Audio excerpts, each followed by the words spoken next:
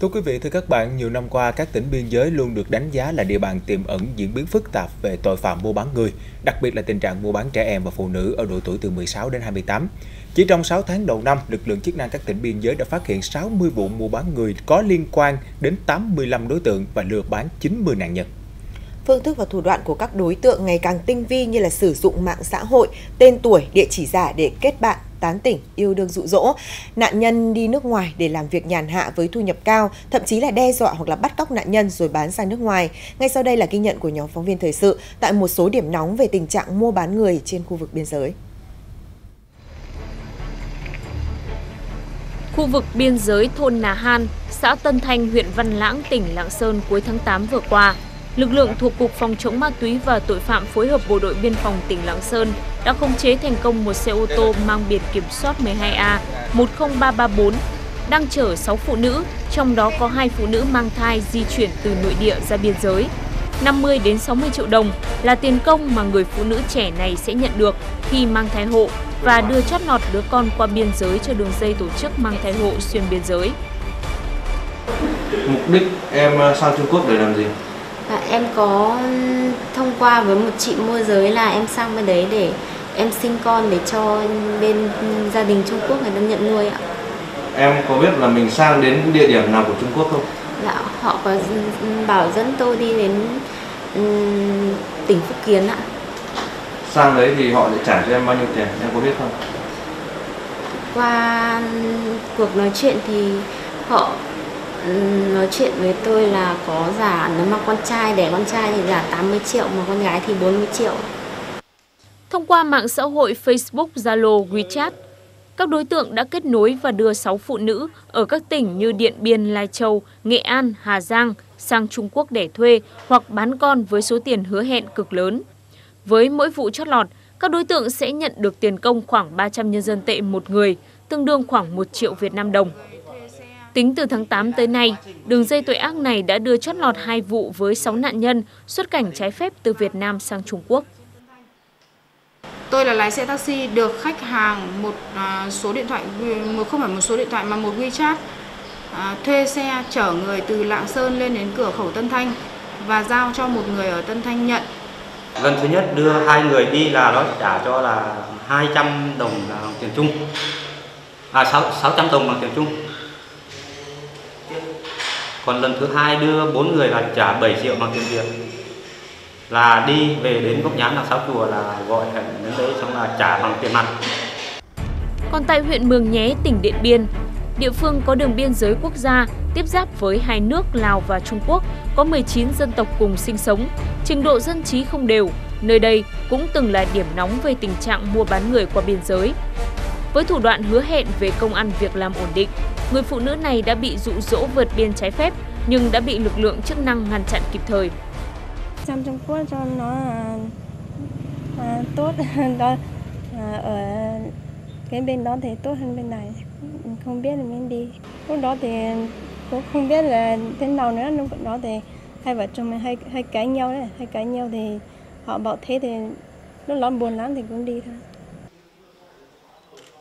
Thống kê chưa đầy đủ của Bộ Ngoại giao, Bộ Công an và Bộ đội Biên phòng, ở nước ta, 6 tháng đầu năm 2020, trên cả nước phát hiện 60 vụ mua bán người liên quan đến 85 người, lừa bán 90 nạn nhân, giảm 31,5% số vụ, tăng 40% số đối tượng và giảm 39,7% số nạn nhân so với cùng kỳ năm 2019.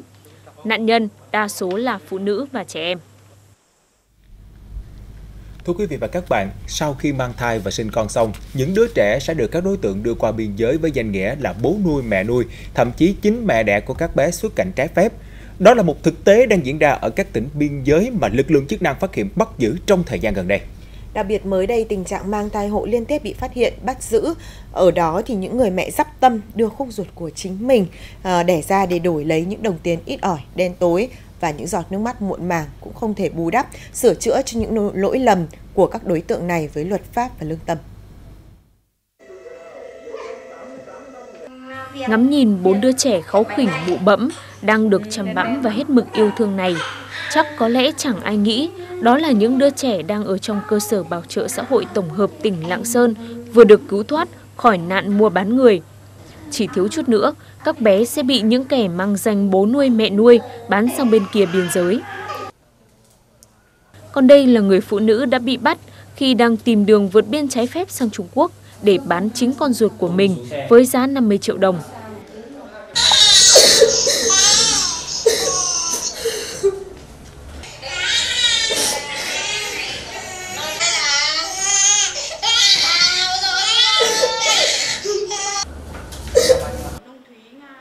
Khó khăn thiếu thốn là lý do mà các đối tượng này đưa ra nhằm biện minh cho những lỗi lầm của mình. Chỉ với vài chục triệu đồng, cùng lời hứa hẹn sẽ đưa những đứa trẻ ra nước ngoài làm con nuôi ở những gia đình khá giả, những người phụ nữ này đã bất chấp để thực hiện. Thậm chí một số đối tượng còn đóng vai là phụ nữ không có khả năng sinh con để xin con nuôi rồi bắn sang Trung Quốc. Nếu chót lọt, mỗi vụ chúng sẽ nhận được từ vài nghìn đến vài chục nghìn nhân dân tệ, tương đương với hàng trăm triệu đồng. Lúc nhận nuôi bé được thì em phát hiện là em có thai, nên là em nghĩ là mình có thai rồi thì không để để nuôi con của mình nên là quyết định là cho đứa bé. Tôi đăng lên nhóm hỏi cho và nhận con nuôi uh, và để lại số điện thoại thì có người đàn ông Trung Quốc chủ động liên lạc và xin nhận con con nuôi hứa là sẽ cho tiền nếu mà tôi bế đứa bé sang Trung Quốc đưa cho người đó. Đây là một trong những vụ án mà mà lần đầu tiên mà chúng tôi phát hiện bắt giữ trong trường hợp là người mẹ trực tiếp là mang con mình sang Trung Quốc để bán. Chúng tôi đã phải mất là 3 ngày 3 đêm để đấu tranh làm rõ cái sự việc thì bằng các cái chứng cứ xác thực ờ, khi chúng tôi đưa ra thì đối tượng mới chịu nhận.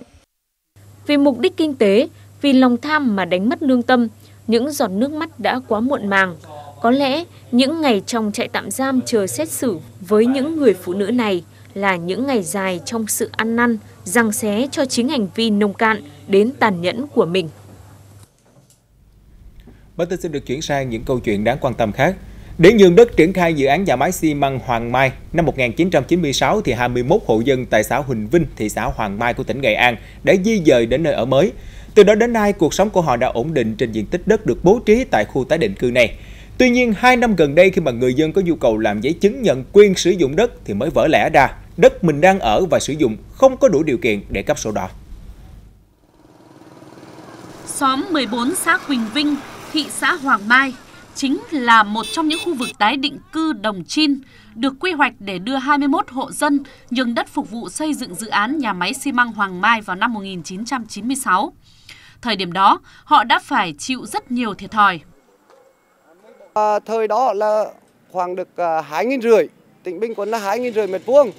Thì à, trong lúc đó thì dân chúng tôi ra đi xuống tại đỉnh cương mới thì nhìn là được à, 10 mét mặt đường số 40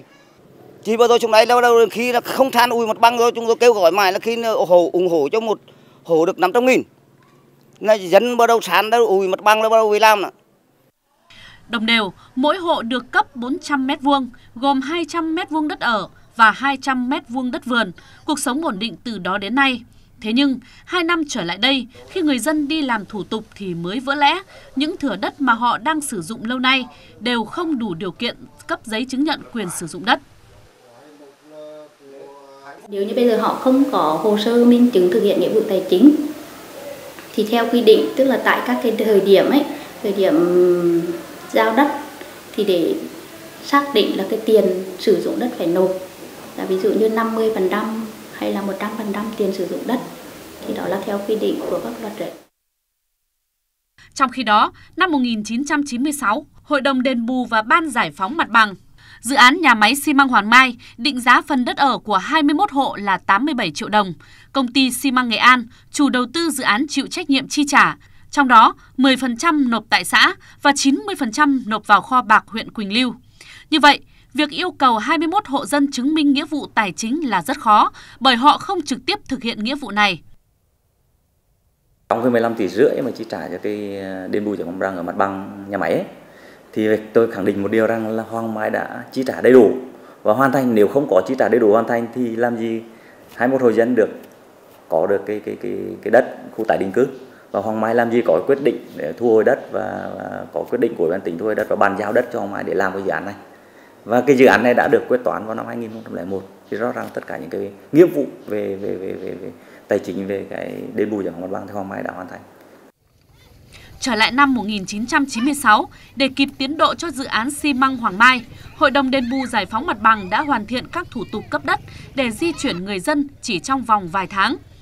Vậy thì nay, để xác minh và hợp thức nghĩa vụ tài chính, trách nhiệm chính quyền các cấp và ngành liên quan phải làm lúc này là làm sao cho 21 hộ dân tại đây có quyền lợi hợp pháp và chính đáng của mình.